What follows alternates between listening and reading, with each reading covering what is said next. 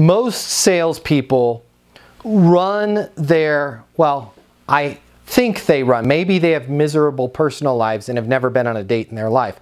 But they run their sales process counterintuitive to how they would run their process in their personal life. And it kills me, right? Like if you wanted to go out on a date with somebody, the last thing you would call them with is, hey, I'm single and I want to mingle. And I've been out with many women just like you, and all of them love going out on a date with me. If I could just have five minutes of your time to explain why it's so fun to party with me, I'd really appreciate it.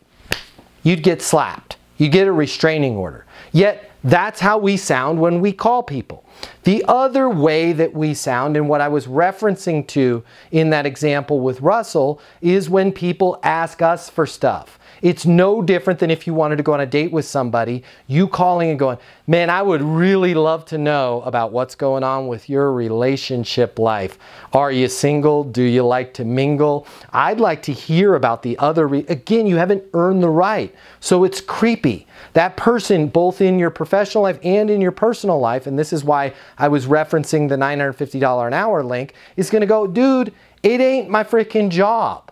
Yet, all of the emails that you get, all of the emails that I get, and all of the emails that most salespeople send, all of their messaging falls down into one of those two channels. If I could just have five minutes of your time, I am so convinced that I'm the bomb.com, you're great, we're perfect for each other, let's party. Or, hey, I'd like to learn a little bit about you. Neither of those is a skillful way to start a relationship.